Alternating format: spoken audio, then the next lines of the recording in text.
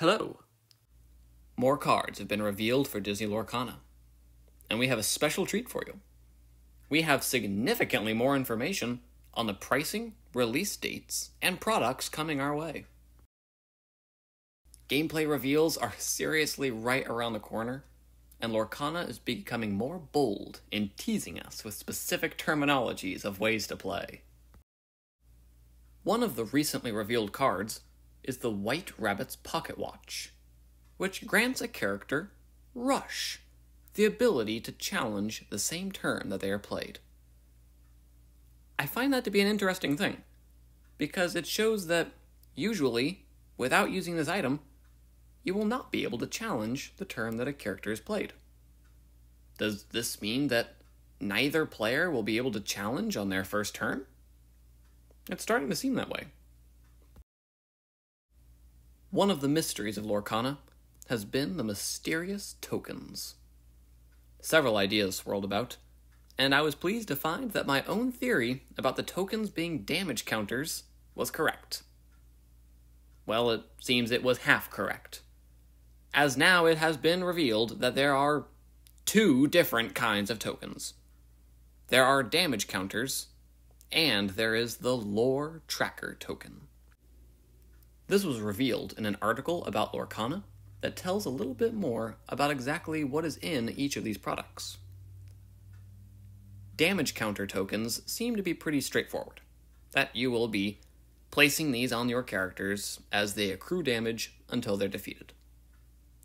When you purchase a deck, it will come with 11 damage tokens. And this makes sense, as you'll likely need many of them. Expect a lot of damage. But each deck comes with only one lore tracker token. These decks are ready to play, so each player will only need one token to play. I am really getting antsy to know what's going on. What do you think that these lore trackers will be used for? I feel like they're connected to the win conditions, but we'll know soon enough. The pricing has been rumored for a bit from the Ravensburger German website. But now we can reveal the correct pricing of the new Lorcana products, and some are even more affordable than previously thought. Here's the pricing. Each deck will be $16.99. Each booster pack of 12 cards are $5.99. The decks seem like a really nice price, because Pokemon decks are usually $15 and Lorcana decks each come with a booster pack. So you're getting a $23 value for 17. That's a great deal to me. The gift set, this time featuring Hades and Mulan, is $29.99. And the Illumineers Trove comes to $49.99.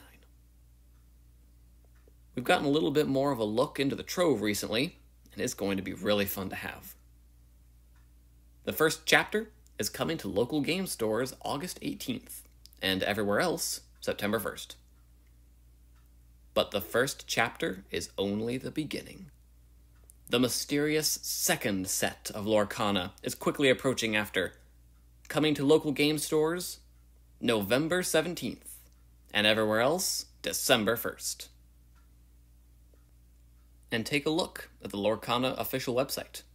It's been recently updated to include the storyline behind the Illuminary, the Illumineers, and Lorcana. Which deck are you starting with?